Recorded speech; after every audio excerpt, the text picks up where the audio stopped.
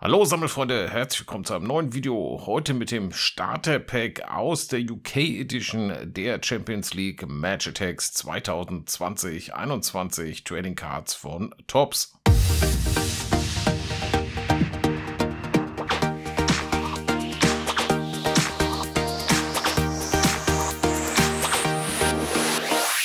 Damit seid willkommen zu diesem neuen Collectors-Video, in dem wir uns heute mal das in England erschienene Match Attacks Starter Pack zur neuen Champions League-Saison anschauen wollen. Erschienen ist das Ganze in Großbritannien bereits Ende August. Da hätte ich euch das Ganze natürlich auch gerne schon gezeigt. Dank der Postlaufzeit von über zwei Wochen ist es jetzt erst angekommen zu einem Zeitpunkt, in dem auch bereits in Deutschland die neue Champions League-Kollektion erschienen ist. Das Ganze in diesem Jahr außerordentlich früh, zumindest in Deutschland, in Großbritannien war das ja bereits im letzten Jahr auch schon der Fall. Da liegt das ja hauptsächlich am Kampf um die Marktanteile zwischen Panini und Tops. Panini hat ja in diesem Jahr auch extrem früh die Premier League Kollektion auf den Markt geworfen. Von daher überrascht eigentlich nur der frühe Erscheinungstermin in Deutschland. Das werden wir dann sicherlich nochmal beim deutschen Starter-Pack thematisieren. Heute wollen wir uns aber zunächst auf das Englische konzentrieren. Laut Tops soll es Unterschiede zwischen der deutschen und der englischen Kollektion geben. Die sollen allerdings deutlich deutlich geringer ausfallen als noch im Vorjahr. Welche das sein sollen, habe ich beim Abgleich der Checklisten allerdings bisher noch nicht rausfinden können. Falls ihr da irgendwas entdeckt habt, dann schreibt es gerne unten in die Kommentare. Ist sicherlich für alle interessant, die sich mit dieser Kollektion beschäftigen. So, das erstmal genug der Vorworte. Jetzt wollen wir uns das Starter-Pack anschauen. Ihr seht es oben am Rand drin ist eine Sammelmappe, ein super großes Spielfeld dazu, Sammlermagazin und Spielregeln. Preis in England 5 Pfund, in Irland wird das Ganze für knapp 8 Euro verkauft. Und wie wir es inzwischen von den Starter-Packs von Tops kennen, finden wir in diesem Starter-Pack 14 exklusive Karten, die es nur in diesem Starter-Pack geben wird. Und darunter befindet sich eine Limited Edition Card in Gold von Roberto Firmino.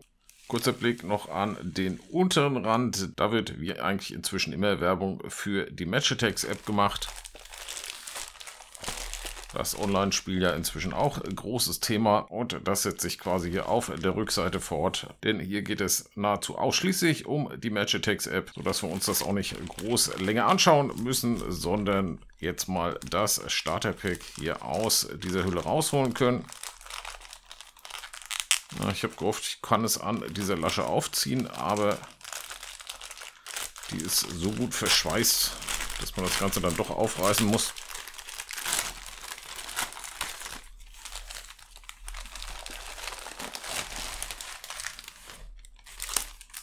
So, nachdem wir uns von der großen Hülle befreit haben, werfen wir schnell einen Blick auf dieses überdimensionale Spielfeld. Denn dann können wir das auch vom Tisch nehmen. So rum ist es richtig. Vom Material hat Topstar schon was richtig Stabiles gebaut. Also das fühlt sich so an, als wie wenn er irgendwas einlaminiert. Das kennt ihr sicherlich. Von daher sollte das auch kein Problem sein, wenn da mal Wasser drauf kommt. So, und wir schieben das jetzt einmal eben durchs Bild, damit ihr das mal in Gänze gesehen habt. Also auf der einen Seite Europa League und auf der anderen Seite die Champions League. Wobei sich das optisch, glaube ich, nicht sehr viel gibt, außer dem Logo in der Mitte. So, das Einzige, gegen was selbst dieses Spielfeld nicht geschützt ist, sind die Knicke und die sind hier schon reichlich drin, dadurch, dass das Ganze größer ist als diese Sammelmappe und dementsprechend auch ungeschützt oben über den Rand rausragt. So, und dann wollen wir uns mal mit unserer Sammelmappe näher beschäftigen. Packen unser Kartenpäckchen zunächst mal an den Rand. Hier haben wir das Deckblatt der Kollektion. Das, wie ich finde, richtig schick geworden. Auch mit so einem leicht metallischen Effekt, dass es entsprechend glänzt. Allerdings ist hier auch schon Knick drin. Also das Ganze hat beim Transporter doch ein bisschen gelitten. Auf der Rückseite finden wir den Champions League Pokal, den sich im letzten Monat der FC Bayern gesichert hat. Und hier unten links finden wir eine ganz interessante Angabe Redaktionsschluss für diese Kollektion war am 1. August. Heißt also zu einem Zeitpunkt, zu dem die laufende Champions League-Saison noch nicht mal beendet war. Die kompletten Viertelfinalspiele, Halbfinalspiele und das Finale wurden ja alle erst im Laufe des Augusts ausgetragen. Also alles, was da passiert ist, gar nicht mehr in diese Kollektion eingeflossen. Heißt somit auch, der FC Bayern wird hier keine speziellen Karten bekommen haben, denn man wusste natürlich nicht, dass die Bayern die Champions League gewinnen. Und hier haben wir das hintere Deckblatt mit dem Europa League Pokal und für die Europa League gilt natürlich genau das gleiche. Auch hier das Ganze entworfen und konzipiert, bevor man überhaupt wusste, wer der Europa League Sieger 2019-20 wird. Rechts sehen wir die Liste mit den Limited Edition Cards. Das in England typische Gold, Silber, Bronze System, das wir aber diesmal bedauerlicherweise auch wieder nach Deutschland bekommen. Zehn verschiedene Spieler haben wir da mit Gold, Silber und Bronze Karten, heißt also insgesamt 30 Limited Edition Cards. Charts. Dazu kommt eine in Platin Blau von Timo Werner, die man bekommt, wenn man was über den Tops Print Me Service anfordert. Und all diese Angaben, die ihr hier in dieser Liste seht, gelten natürlich für England, denn in Deutschland haben wir zum Beispiel kein Match of the Day Magazin, dem die Karten von Erling Haaland in England beiliegen werden. Genauso fraglich, ob wir auch alle Produktformen in Deutschland bekommen, die es in England geben wird. Zum Beispiel der berühmte Countdown-Kalender, also das, was in England England als Adventskalender gilt. Wir in den letzten Jahren ja eigentlich nie in Deutschland. So, dann noch der Blick auf die Rückseite, auf der man dann bereits Tops Festival und Swap and Play Tour Termine angibt. Ob das dann in Zeiten von Corona alles so gut ist und ob es überhaupt stattfinden wird, wird sich dann sicherlich zeigen. Immerhin ist hier unten eine entsprechende Social Distancing Information mit aufgedruckt. Also das unsere zwei Deckblätter, die werden wir mal eben schnell in die Sammelmappe reinfriemeln. Zunächst mal unser Deckblatt.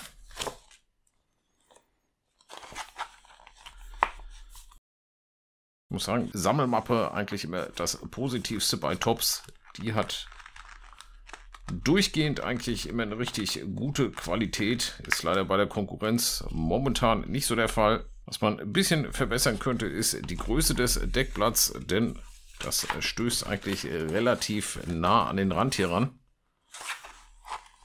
und rutscht damit auch immer leicht raus. Heißt, es steht also immer leicht über. Wie das dann nach einer Weile aussieht, das werden sicherlich viele von euch kennen. Also von daher ist am besten, wenn man das mit einem Cutter, wenn man dann einen hat, mal ein Stückchen kürzer säbelt. Ansonsten tut es da sicherlich auch eine Schere, mit der man das Ganze ein Stückchen kürzer schneidet. So, das ist also unsere richtig schicke Sammelmappe. Dann haben wir hier dieses Mini-Sammler-Magazin, wird natürlich auch wieder dominiert von Werbung für die Match Attacks App. Dazu dann eine Vorschau auf die weiteren Produkte, die es in England zu dieser Kollektion gibt.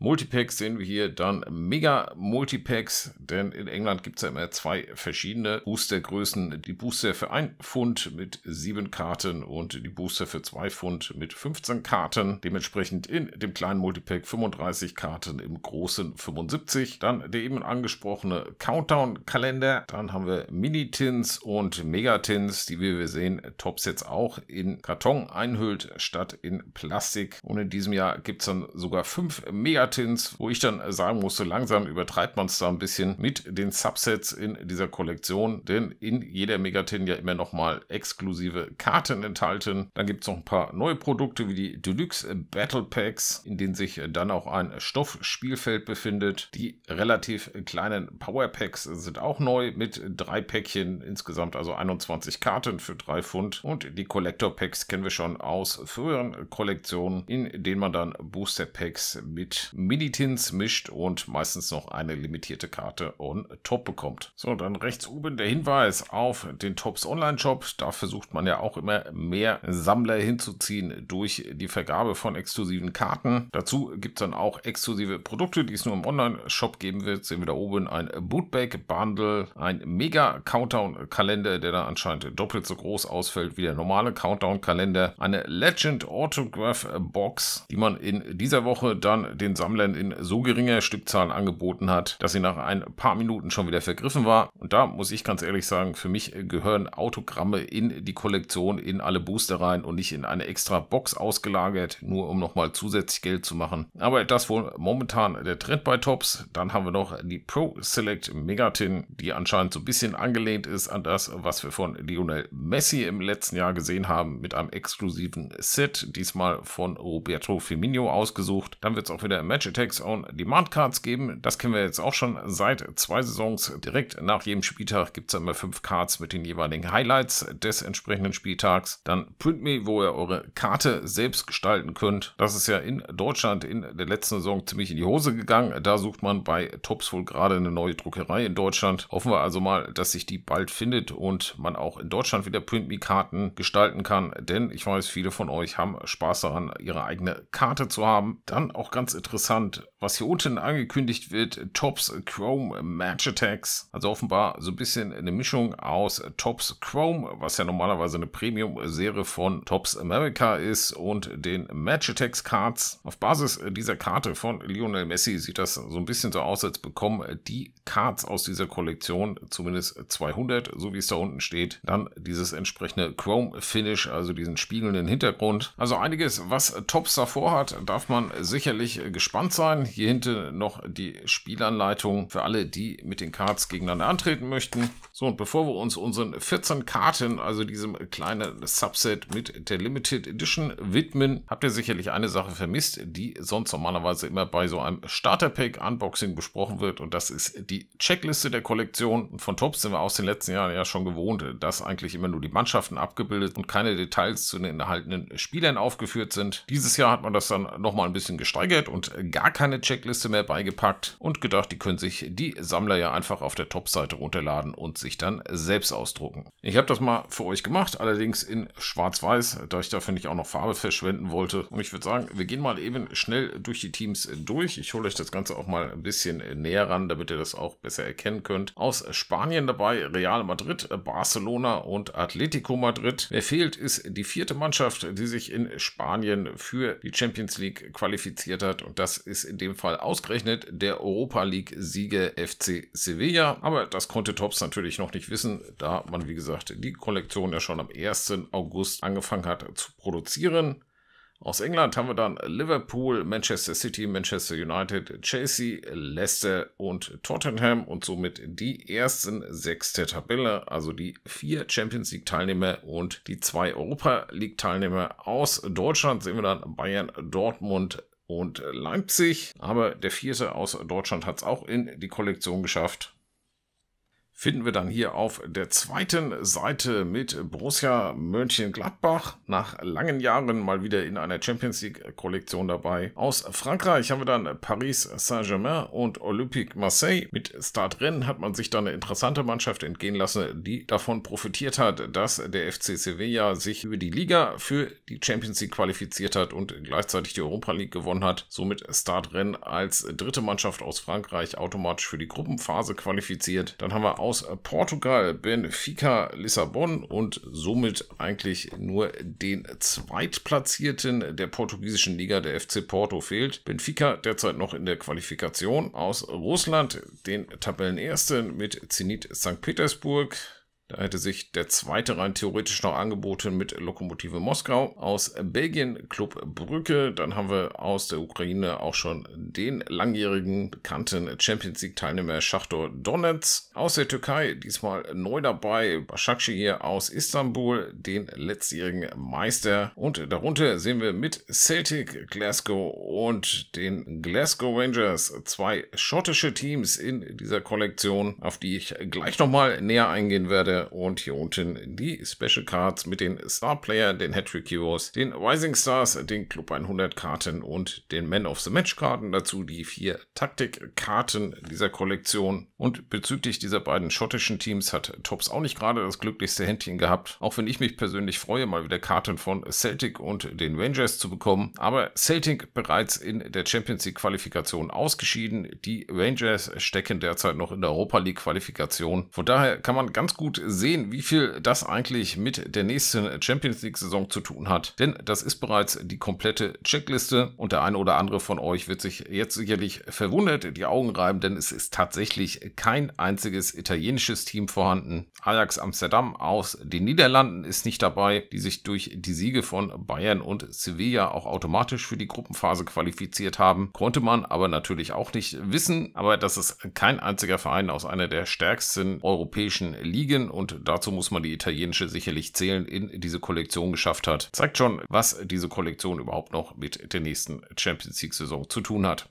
So, das die ersten beiden Seiten der Checkliste. Es gab auch noch eine dritte Seite, da aber hauptsächlich die Produkte drauf, die zusätzlich erscheinen. Also diese fünf Subsets aus den Megatins, dann die exklusiven Superstar-Karten aus diesem Starter-Pack, die wir gleich noch sehen werden. Die XL-Cards, die es dann hauptsächlich wieder im Tops Online-Shop geben wird. Und hier rechts die Limited Edition Cards, die wir eben schon gesehen haben auf der Rückseite der Sammelmappe. Wer sich das Ganze näher anschauen möchte, ich hole es euch eben auch noch mal ein bisschen näher in die Kamera. Ist leider ein bisschen wackelig aufgrund des dünnen Papiers. Aber ich denke, für einen schnellen Eindruck reicht es. Und ansonsten findet ihr die Checklist, wie gesagt, auf der Webseite von Tops. Zu beachten hier sicherlich noch die LE2G, der berühmte Ionel Messi. Wer kennt ihn nicht? Und zum Vergleich habe ich mir dann mal die Checkliste aus der deutschen Version gezogen, die inzwischen auch auf der deutschen Webseite von Tops ist. Die ersten beiden Seiten komplett gleich und die dritte Seite unterscheidet sich eigentlich nur darin, dass der Balken mit den Limited Edition Cards auf der linken Seite ist und man bei dieser in Deutschland erhältlichen internationalen Edition keine näheren Details zu den Limited Edition Cards dazu geschrieben hat, da hier sicherlich auch noch gar nicht so ganz klar ist, wo die überhaupt alle erscheinen werden und in welchen Produkten sie enthalten sind. So, das also die selbst ausgedruckte Checkliste. Dann habt ihr das auch mal gesehen und wisst jetzt auch, welche Mannschaften in dieser Kollektion vertreten sind. Anhand dieses kleinen Päckchens mit dem Subset sieht man das ja meist nicht so gut, da hier noch keine normalen Karten aus der Kollektion drin sind.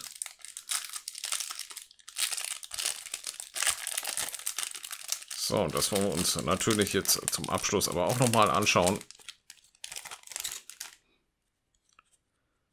Sehen da zunächst die Limited Edition Card von Roberto Firmino und die, wie ich finde, richtig gelungen mit diesem Gold auf dem schwarzen Hintergrund. Das sieht schon sehr edel aus, das Ganze. Also da hat Tops auf jeden Fall einen guten Job gemacht.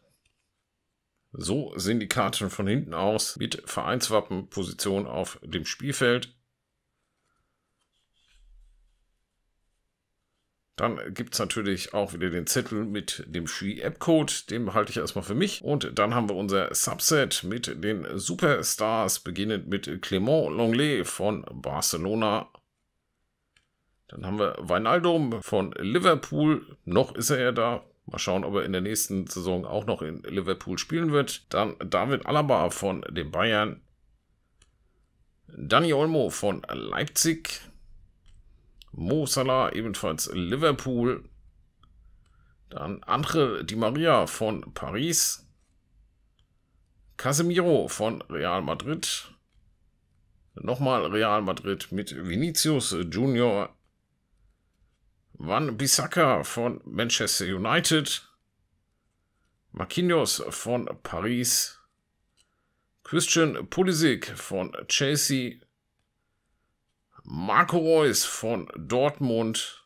Und zum Abschluss haben wir noch eine Taktikkarte, denn es sind insgesamt nur zwölf Cards in diesem Subset. Ich lege sie hier auch nochmal eben schnell hin, dann haben wir sie alle im Abschlussbild und man hat einen ganz guten Überblick über das, was in diesem Starterpack enthalten ist. Viel ist es ja nicht, da Tops keine separaten Booster mehr beipackt würde ich persönlich begrüßen, denn dann bekommt man auch immer schon mal einen ersten Eindruck von der Kollektion. So haben wir hier nur dieses Subset mit den Superstars, bei denen Tops uns auch übers Ohr gehauen hat, denn ich sehe hier nicht wie auf dem Starter-Pack angegeben 14 Shiny Cards, sondern nur 13. Und das, was am ehesten an die Karten der restlichen Kollektion erinnert, ist die Taktikkarte, die wir oben sehen, denn die kommt auf weißem Hintergrund, so wie all die Basiskarten, die wir dann in den nächsten Videos zu dieser Kollektion sehen werden. Weiter geht's äh, zunächst in den nächsten Tagen mit dem Multipack aus der UK Edition, denn das konnte man zusammen im Set mit diesem Starter-Pack erwerben. Und dann hoffe ich euch natürlich auch möglichst bald die Produkte der Edition zeigen zu können, die in Deutschland erhältlich ist. Und vielleicht hat mir Tops bis dahin dann auch verraten, wo genau die Unterschiede zwischen beiden Versionen liegen. Ich bleibe da für euch auf jeden Fall am Ball. In der Zwischenzeit dürft ihr gerne mal unten in die Kommentare schreiben, was ihr von all dem haltet, was ihr in diesem Video gesehen habt und vor allem auch erfahren habt zu den Hintergründen zu dieser Kollektion. Aus meiner Sicht, auch wenn die Karten, die wir hier sehen, mir persönlich richtig gut gefallen, eigentlich ein komplettes No-Go, eine Champions League Kollektion schon zu einem Zeitpunkt zu veröffentlichen, zu dem die vorherige Saison noch nicht mal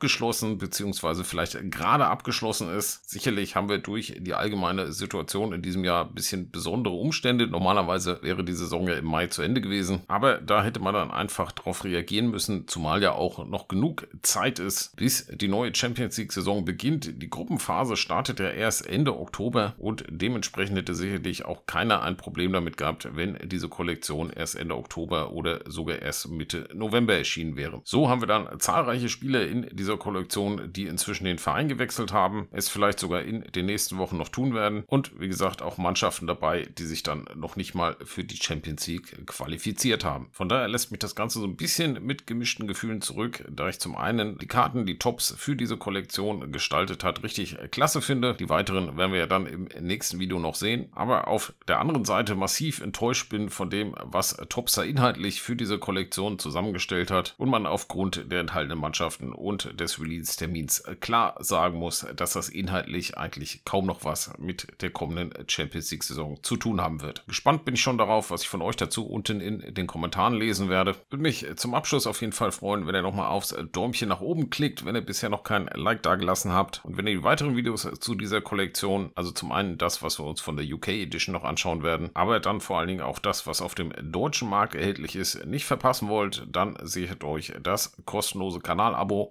aktiviert die Glocke und dann werdet ihr benachrichtigt, sobald ein neues Video hier online geht. Ich danke euch für euer Interesse an diesem Video. Würde mich freuen, wenn wir uns dann beim nächsten Wiedersehen. Bis dahin, macht's gut. Tschüss.